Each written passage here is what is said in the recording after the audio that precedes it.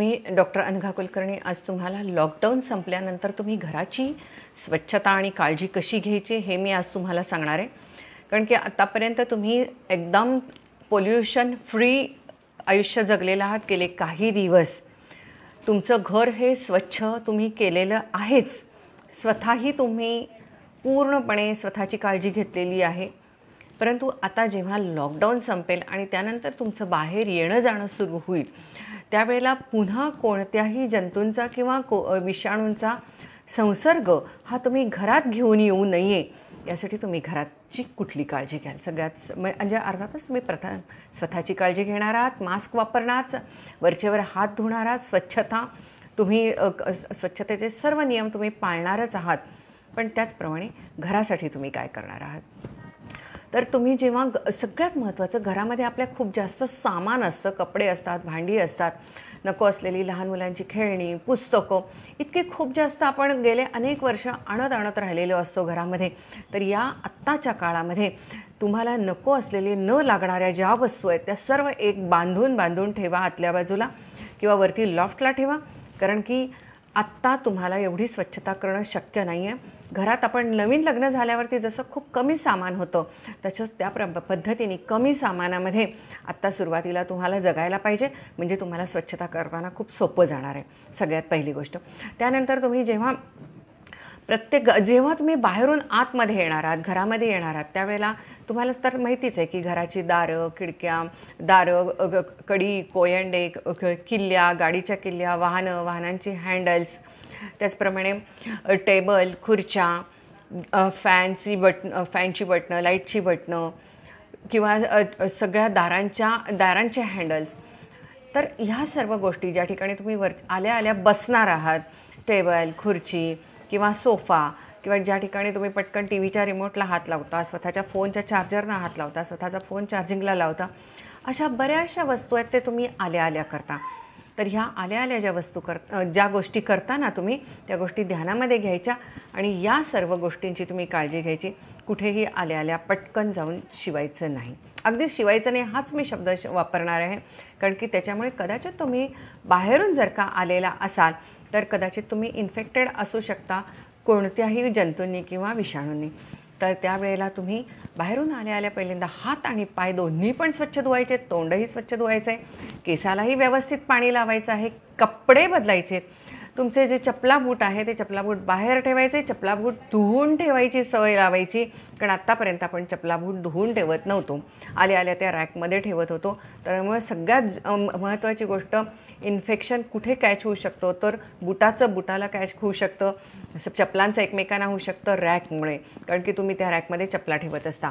त्यामुळे ही गोष्ट तुम्ही ध्यानात ठेवायची. चपला बूटसुद्धा स्वच्छ धुवायला शिकायचे आणि कपडे जे आहेत ते कपडे तुमचे एक बाहेरच्या बाजूलाच बादली करायची आहे त्या ठिकाणी बाहेरच्या बाहेरच तुमचे जेवढे शक्य असतील तेवढे कपडे तुम्ही त्याच्यामध्ये ठेवायचे आणि नेक्स्ट डे तुम्ही ते धुवायला टाकणार आहात. त्यामुळे तेवढ्या आठ तासामध्ये तो जंतू मर मेलेला असतो.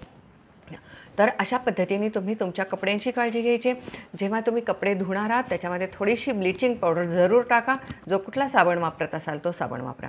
त्याचप्रमाणे केअरफरशी करताना शक्यतो ग्लोव्ज घाला. आणि तुमच्याकडे जे का कामाला मेड असेल तिलासुद्धा ग्लोव्ज वापरायला सांगा तिलाही हँड सॅनिटायझर वापरायला सांगा.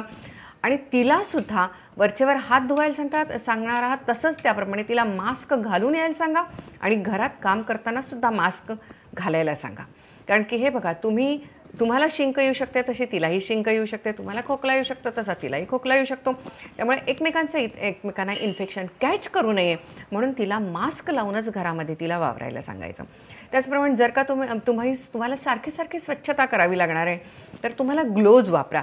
कारण की किती वेळा तुम्ही हाताने हाताने तुम्ही जास्त करू नये. कारण की हाताला काय होतं तुम्ही सारखं धुळीत काम करतं सॅन सॅनिटायझर सारखं लावून लावून ना हाताला सुद्धा चरचरायला लागतं.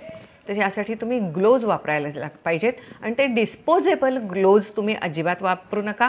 कारण की जर का सारखं डिस्पो रोजच्या दिवसाला एक ग्लोव्ज असं जर का प्रत्येक व्यक्तीने वापरायला सुरुवात केलं तर दु दुसऱ्या दिवशी कचऱ्याच्या डब्यामध्ये नुसते ग्लोव्जच सापडतील. आणि असा जर का प्रत्येकाचा कचरा साठत गेला तर तो उद्या कचऱ्याचा फार मोठा प्रॉब्लेम होणार आहे.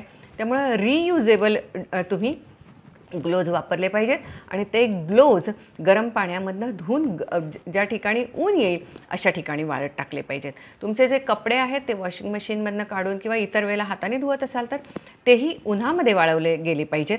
तुम्ही सम ते नुसतेच काढून आतल्या खोलीमध्ये टाकलेत तर तसं काही करू नका. तर ते उन्हामध्ये वाळवले गेले पाहिजेत म्हाताऱ्या माणसांच्यासाठी प्रामुख्याने मी तुम्हाला सांगेन की जर तुमची काठी आहे किंवा चष्मा आहे या गोष्टी तुमच्या वरच्यावर स्वच्छ केल्या गेल्या पाहिजेत. कारण की या समजा तुम्ही आता जेव्हा लॉकडाऊन संपेल तेव्हा तुम्ही कुठे जाणार आहात? तर एकतर बागेमध्ये जाता किंवा देवळामध्ये जाऊन बसत असता. म्हणजे पब्लिक प्लेसेसमध्ये तुम्ही जात असता.